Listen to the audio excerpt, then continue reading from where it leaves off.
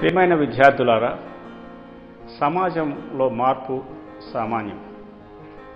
ప్రతి అణువు ప్రతి క్షణం ఈ ప్రపంచంలో మార్పు అనేది అనివార్యం.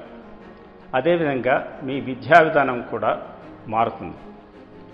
ప్రస్తుత విద్యా విధానం ఒక ఇండస్ట్రియల్ ఏజ్లో క్రియేట్ చేయబడింది. అదేవిధంగా schools textbooks classrooms ఈ సిస్టమ్ ఆఫ్ ఎడ్యుకేషన్ ఏదైతే ఉందో అది ఇండస్ట్రియల్ రెవల్యూషన్కి బాగా ఉపయోగపడింది సమాజానికి ఉపయోగపడింది. ప్రస్తుతం మీరు ఇంటర్నెట్ ఎడ్యుకేషన్ శిక్షా విధానానికి గ్రాడ్యువల్గా అలవాటు ప పడాల్సి ఉంటుంది. ఎందుకంటే ఇంటర్నెట్ అనేది ఇంకా పెద్ద విప్లవం. ఇండస్ట్రియల్ విప్లవం కన్నా కూడా పెద్ద విప్లవం. ఇది శాంతియుతమైంది అందరికీ ఉపయోగపడేది. ప్రజలందరికీ ఒక లెవలింగ్ ప్లేయింగ్ ఫీల్డ్ని ఈక్వల్ చేసింది. విలేజ్లో ఉన్న సిటీలో ఉన్న కంప్యూటర్ అన్ని విషయాలు చెప్తా ఉంది.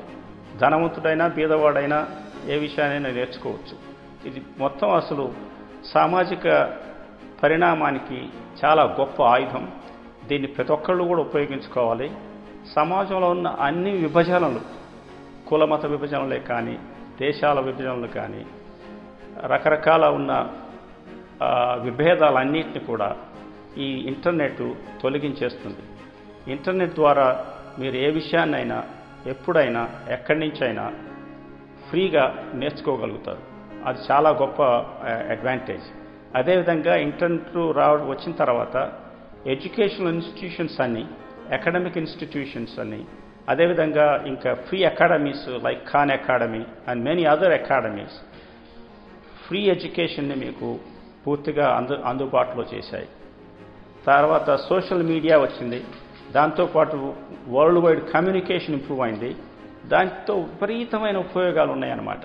ఏ విధంగా అంటే ఒక పోలీసు చేసే అక్రమాన్ని కూడా ఏదో ఒకరు వీడియోలో తీసేసి ఫేస్బుక్లో వేసేసి ఎవిడెన్స్గా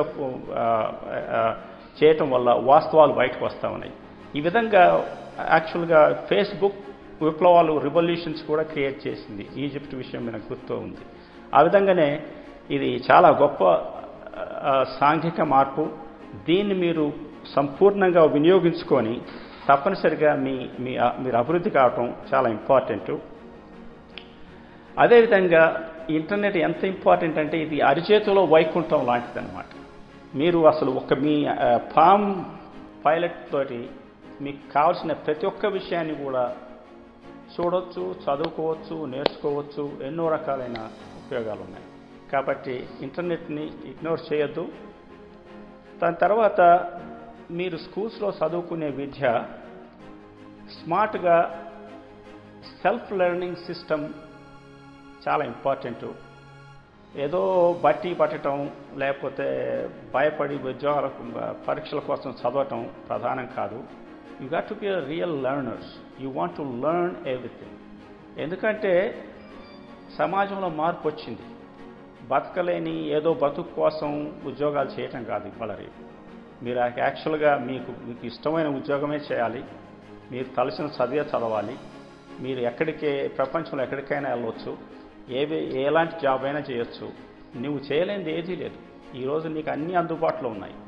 కాబట్టి మీరు లిమిటేషన్స్ అన్నిటినీ ఓవర్కమ్ అయ్యి మీకు కావాలి మీకు హృదయంలో ఉన్న స్వచ్ఛమైన ఆలోచనతో మీకు కావలసిన ధ్యేయాన్ని లక్ష్యాన్ని చేరటానికి తప్పనిసరిగా ప్రయత్నించండి. అది మా చైతన్య సారథి సందేశం మీకు. థ్యాంక్స్